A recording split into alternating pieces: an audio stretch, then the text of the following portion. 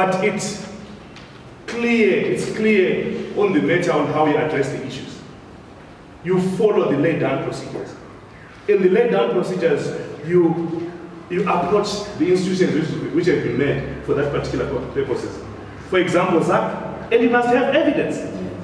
I must say today's Chambako is corrupt because he bought that suit, but I don't have any evidence. So what is important is that we need to have order. You cannot just say to wake up to say that so and so is corrupt, but you have no evidence. You're not going to that, that particular organization which, or institution which deals with the issue of, uh, of corruption. So what the party, the party is very clear. That's why His Excellency the President created institutions that deal with corruption. We have got a special unit in his office, uh, the prosecutors. We have the ZAC, which he appointed.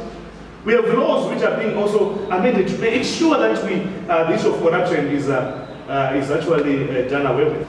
We are accountable to the main whip of the party.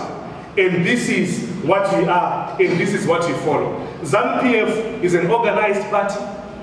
It has its own ways of doing things, and there is no way under the sun that you can say that you are presenting yourself if an office holder of a party.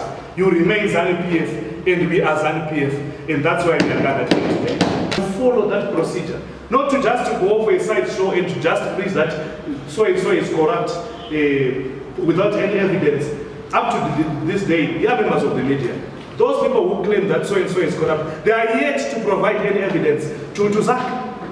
For these and other stories, visit our website www.263chat.com. Follow us on Twitter at 263chat and like our Facebook page 263chat.